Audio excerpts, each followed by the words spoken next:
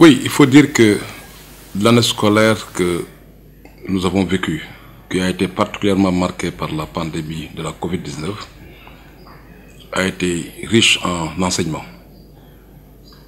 Et le bilan pourrait être établi sous plusieurs angles. D'abord du point de vue des réponses que l'éducation a apportées face à la COVID.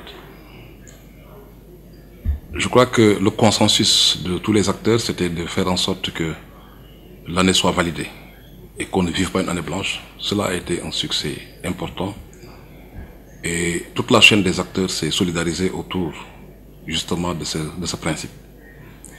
Mais il faut rappeler que les réponses ont été certes données, mais elles n'ont pas été complètes. Elles ont été données pour les 551 000 candidats aux examens certificatifs qui ont pu retrouver l'enseignement en présentiel, mais ces réponses ont été presque absentes pour ce qui est des 3 millions d'enfants qui sont dans des classes intermédiaires. Ces réponses ont permis à des enfants de bénéficier de l'enseignement à distance, mais à d'autres ont eu beaucoup de difficultés parce que les conditions ne leur permettaient pas, évidemment, de pouvoir jouir des bénéfices de l'enseignement à distance. Dans les réponses, on a pu sentir évidemment qu'il y a eu un temps réel d'apprentissage n'était pas le même pour tous les enfants. Certains ont pu jouir du mois et demi de la reprise, d'autres pour ce qui est de la donne hivernage n'ont pas pu bénéficier du maximum du temps réel d'apprentissage que leur avait permis. Donc oui, il y a eu des réponses, mais elles n'ont pas été complètes. L'autre niveau de bilan, c'est par rapport au partenariat. Ça a été un moment où le ministre en personne, il faut en profiter pour le saluer, a beaucoup travaillé pour faire du partenariat une réalité, en s'ouvrant à tous les partenaires pour pouvoir discuter évidemment des perspectives, parce que nous savions tous qu'il fallait faire preuve d'humilité, de générosité, d'ingéniosité pour apporter les meilleures réponses. Dans le partenariat toujours, il y a eu beaucoup d'acteurs qui ont privilégié l'entrée par les problèmes. Ils nous ont souligné les difficultés. Ils ont fait le focus sur les contraintes. Il y a d'autres qui, par contre, ont privilégié l'entrée par les solutions. En tout cas, pour ce qui est de la COSIDEP, nous avons beaucoup travaillé à poster des contributions pour évidemment trouver des solutions, des scénarios de sortie de crise. Le partenariat, c'est aussi le bilan, parce que nous avions tout le temps demandé, face à une situation pareille, qu'on puisse nous arrêter et d'établir un bilan objectif et inclusif. Enfin, le ministère l'a organisé la semaine passée, ce que nous saluons vivement, qui a permis de réunir la quasi-totalité des acteurs. Mais évidemment que ce bilan n'a pas aussi été un bilan en profondeur. En profondeur parce qu'il fallait aussi avoir l'opportunité d'analyser la portée de toutes les offres alternatives pour accompagner les enfants. Mais nous pensions aussi que nous devrions mieux écouter la Covid qui nous dit qu'il faut mettre en avant l'intersectorialité et faire en sorte que nos bilans ne soient pas seulement établis entre acteurs de l'éducation, mais qu'ils soient ouverts aux autres acteurs qui ont un impact sur ce que nous faisons. Je pense aux collectivités territoriales, je pense au PTF, je pense à la santé, je pense à d'autres aspects liés à l'environnement, à l'alimentation. Donc, oui, il y a une tentative de bilan. Mais ce bilan devrait être encore plus approfondi et nous espérons qu'il n'est pas encore trop tard de nous arrêter pour tirer les meilleurs enseignements. Mais faire le bilan, c'est aussi le voir sous l'angle pédagogique. Sur le plan pédagogique, euh, la Covid nous aura beaucoup parlé. La Covid nous aura rappelé que les effectifs réduits sont des facteurs de qualité, contrairement aux effectifs pléthoriques. La Covid nous aura rappelé que l'enseignement, ce n'est pas seulement dans la classe, mais c'est aussi l'environnement des apprentissages. Vous le savez, il y a eu des écoles qui ont eu des difficultés pour fonctionner en période hivernale, parce que l'état du réseau scolaire ne le permettait pas. Et tout cela fait évidemment que nous devons accorder un peu plus d'importance à l'environnement de nos apprentissages en termes de clôture, en termes de disponibilité de blocs sanitaires, en termes de disponibilité d'eau. Tout cela, tout cela évidemment fait que sur le plan pédagogique, il y a eu certainement certaines des difficultés. Mais du point de vue pédagogique toujours, la Covid nous aura rappelé que nous avons un programme euh, démentiel, un programme encyclopédique qu'il nous faut revoir. et apprendre à nous focaliser sur l'essentiel du programme. Quand nous le faisons, nos enfants ne sont pas bourrés. L'apprentissage devient de plus en plus une réalité. Et ils ont plus d'espace pour pouvoir consolider, se renforcer et travailler à la maison. Sur le plan pédagogique, c'est aussi un aspect important, ce sont les ratios. Il faudrait que le système éducatif puisse travailler à répondre aux normes et aux standards de qualité. Nous avons des effectifs pléthoriques, 1 pour 80, 1 pour 100, alors que la norme voudrait qu'on soit 1 pour 45. Nous avons un enseignant, un inspecteur pour plus de 300 enseignants, alors que la norme voudrait qu'on soit pour un inspecteur pour 50 enseignants. Donc il nous faut faire des efforts. Nous avons encore au Sénégal un psychologue conseiller pour 9500 élèves, alors que la norme voudrait qu'on soit à un, un, psychologue conseiller pour 500 élèves. Donc il y a évidemment beaucoup de standards. Les, ratios liés aussi au support et au manuel. Aujourd'hui, si nous apprenons bien de la COVID, nous devons faire en sorte que l'enfant puisse rentrer avec suffisamment de matériel, de manuel, de support, qui puisse lui permettre de consolider, d'approfondir ce qu'il apprend à la maison. Parce que la COVID nous aura aussi rappelé que L'enseignement, c'est surtout le suivi à domicile. C'est le travail qui doit se faire par l'élève. Apprendre à apprendre devient une compétence à installer.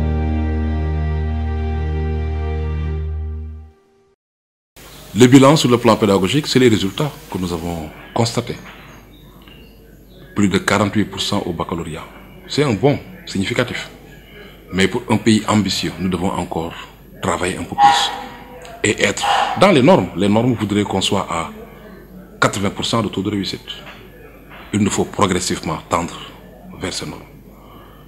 Mais nous avions constaté évidemment que ces résultats, qui n'ont pas évidemment surpris la COSIDEP, parce que simplement, pour ceux qui ont suivi les différentes sorties, nous avions prédit qu'avec ces effectifs réduits, qu'avec le protocole pédagogique revu, mais qu'avec aussi l'engagement et la détermination de toute la chaîne des acteurs, vous vous rappelez des enseignants, qui sont engagés à être sur le terrain, malgré toutes les difficultés.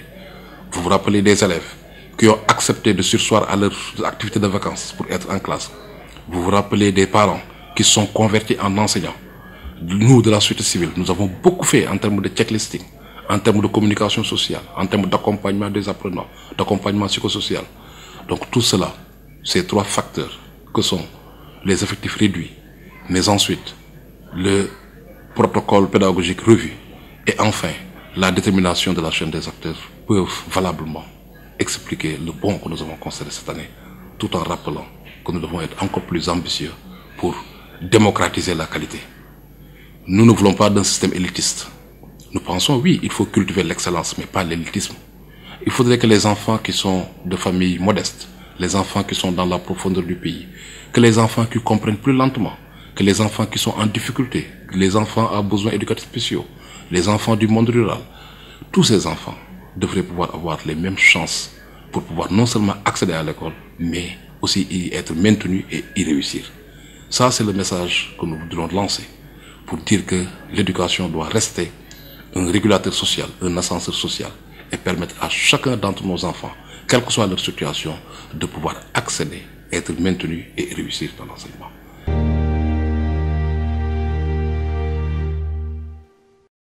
Oui, maintenant, nous pensons évidemment qu'en termes de perspective, il est essentiel déjà que le système éducatif puisse être un système plus équitable. Deuxième élément de perspective, c'est la culture du bilan. Il faut dans des situations particulières que nous vivons, même dans une situation ordinaire, a fortiori pour ce qui est d'une situation particulière, il faut travailler à s'arrêter et à faire un bilan, en nous disant que le bilan ne cible pas une personne ou un groupe de personnes mais le bilan doit être concentré sur évidemment l'objectif et l'objet. Et voilà ce qui fait évidemment que la culture du bilan, qui nous permet d'apprendre des leçons tirées, mais qui nous permet aussi d'être plus proactifs, d'avoir la capacité à anticiper. Pour nous, c'est un élément essentiel en termes de perspective. Troisième élément de perspective, c'est les réformes profondes qui s'imposent au système éducatif. Les assises nationales nous avaient parlé nous n'avions pas bien écouté les conclusions de ces assises. Nous, organisations de la société civile, on s'est fortement mobilisés. On n'est pas toujours bien entendu. Mais aujourd'hui, la Covid nous a dit qu'il nous faut aller vers des réformes profondes qui s'appelleront l'académisation. Ça fait partie de notre conviction. Il faut décentraliser l'éducation. Nous considérons aujourd'hui que le niveau central doit pouvoir libérer de l'espace. Il y a trop, de pouvoir au niveau central. Comment faire pour responsabiliser davantage le niveau local? En termes de réponse aux situations locales, la réalité de Ziguinchor ne saurait être la même chose que celle de Matam ou de Thiès. Donc comment travailler à donner plus de pouvoir au niveau local Pour nous, cela est un impératif. Même dans le découpage du calendrier scolaire, on devrait pouvoir le faire. Nous avions parlé l'année dernière de la réforme sur le CFE. Pourquoi on ne serait pas dans une organisation du CFE au niveau décentralisé? Il y a donc des choses qui s'imposent en termes de réforme. Les réformes, c'est aussi la révision systématique du curriculum, ce qu'on enseigne aux enfants. La Covid nous a démontré que voilà, c'est encyclopédique. Donc comment faire pour qu'on puisse cibler l'essentiel? Et installer des compétences qui permettent à chaque enfant d'être autonome Ça, pour nous, c'est des réformes qui, qui, qui s'imposent. Mais les réformes, c'est aussi avoir une autre vision de l'éducation, que l'éducation dépasse le scolaire, mais l'éducation dans son sens large. Et ça qui fera qu'on va se préoccuper de toutes les offres, du non formel, de l'informel, euh, des DARA. Il faudrait qu'on soit dans ces perspectives-là. L'intersectorialité, c'est aussi comment faire pour que l'éducation puisse mieux commercer avec les autres secteurs.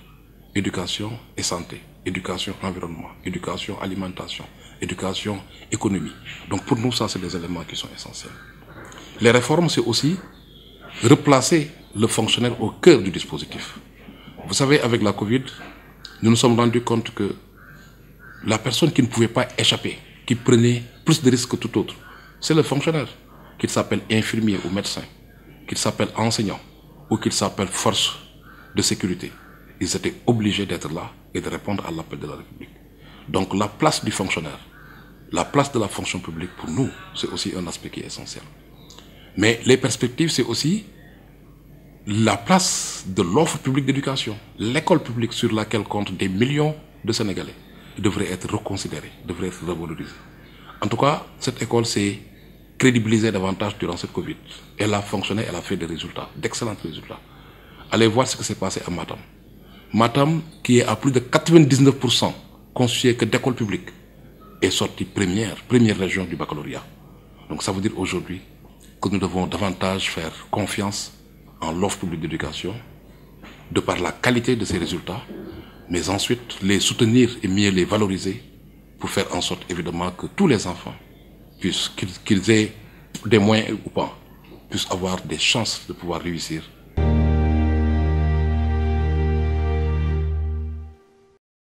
Nous, avons, nous sommes sortis d'un bilan, d'un séminaire bilan ou d'un atelier bilan entre les partenaires de l'école autour du ministre de l'Éducation.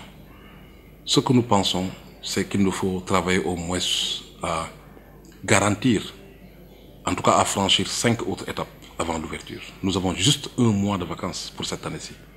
Mais ce mois de vacances doit être pleinement mis à profit pour assurer au moins cinq choses. La première chose, c'est comment faire pour que dans les 16 académies qui existent, que les orientations qui ont été dégagées lors du bilan puissent faire l'objet de restitution et d'opérationnalisation. Nous avons réfléchi au plan central, mais comment Kiedougou devrait mettre en pratique ce qui a été dit au niveau central? Ça peut, ça peut, différer, en termes de stratégie euh, de l'approche de Saint-Louis ou d'une autre région. Donc opérationnaliser les recommandations, les orientations au niveau local. Un. Deuxième élément pour nous en termes de perspective immédiate, c'est durant ce mois, comment davantage accompagner les activités de vacances. Nous le savions, sans Covid, il y avait beaucoup d'organisations qui soutenaient les enfants en termes de cours de vacances. Mais nous pensons que cette fois-ci, ces cours de vacances doivent être mieux encadrés pour faire en sorte, évidemment, qu'au-delà de la fonction de d'accompagnement, que ces cours de vacances puissent avoir aussi une fonction de remise à niveau, particulièrement des enfants qui étaient dans les classes intermédiaires. Troisième étape pour nous qui est essentielle, c'est comment nous mobiliser, comment organiser une mobilisation citoyenne autour de la campagne Ubitei Yangatei, notre fameuse campagne. Parce que nous le savons, l'année prochaine devrait être mise à profit pour combler le gap pédagogique, le gap horaire que nous avons senti cette année-ci. Et de ce point de vue, la campagne Ubitei Yangatei se justifie aujourd'hui plus que jamais pour que justement que nos écoles puissent être fonctionnelles dès la reprise, ça veut dire le, euh, le 12 novembre. Nous pensons aussi que nous devons peut-être, durant, entre la reprise des enseignants et celle des apprenants, aller dans le sens d'inviter les 59 IEF à organiser des conférences sur l'éducation en situation de crise. Le Sénégal ne connaissait pas une crise pareille. Et nous devons évidemment donner les bas à bas aux enseignants pour qu'ils puissent faire face. Et ça qui nous permettra, pour la prochaine rentrée, de donner des outils minimaux, des instruments minimaux qui permettent aux enseignants de pouvoir les accompagner. En termes aussi de perspective, nous considérons qu'il faudrait dès à présent sécuriser l'année prochaine à partir de la reprise du monitoring. Parce que nous le savons, nous écoutons, nous observons, nous interagissons avec les acteurs. Mais nous craignons que l'année prochaine, qu'il puisse y avoir des balbutiements. Et donc aujourd'hui, il est essentiel que la reprise du monitoring des accords entre gouvernement et syndicats puisse être effective. C'est ça qui pourrait nous permettre que nous avons un système qui est capable d'anticiper les difficultés. Mais nous ne devons pas simplement être dans la réaction. Ça, pour nous, c'est un élément essentiel. Les perspectives, c'est aussi l'orientation à temps des élèves qui ont réussi aux examens certificatifs, l'affectation à temps des enseignants, la disponibilité des sortants des centres de, des CRFPE. Nous avions noté l'engagement du ministre après un plaidoyer que la COSIDEP avait mené l'année dernière, que cette année-ci, les sortants de ces, centres de, régionaux de formation vont être disponibles dès la rentrée. Et pour nous, ça, c'est un élément qui est essentiel. Mais les perspectives aussi, c'est travailler à combler les déficits par rapport au personnel enseignant. Euh, nous le savons, le déficit est criard. Et si nous devons retourner dans les mêmes conditions, ça veut dire qu'on va encore avoir des classes pléthoriques, ce qui est contraire aux mesures barrières. Mais nous devons aussi retravailler la carte scolaire. Et enfin, en termes de perspective, c'est faire preuve de plus de générosité, d'ouverture et de moins d'égoïsme pour faire en sorte que ces oubliés, même avant la Covid, 1 500 000 enfants hors école, que ces oubliés ne soient pas, qu'on ne continue pas toujours à les oublier. Éviter d'oublier les oubliés. Ça, pour nous, c'est un élément essentiel. Nous devons apporter des réponses qui permettent à chaque enfant, les hors école, les enfants qui sont déscolarisés de, manière prématurée, les enfants qui ont opté pour d'autres offres éducatives, que tous ces enfants aient des chances de jouir du droit à l'éducation parce que, il faut le rappeler, nous sommes en 2020 et il n'est pas acceptable qu'on ait encore dans ce pays des Sénégalais qui ne bénéficient d'aucune offre d'éducation de formation. Ce n'est pas sûr pour eux, ce n'est pas sûr pour leur famille, ce n'est pas sûr pour le pays. Thank you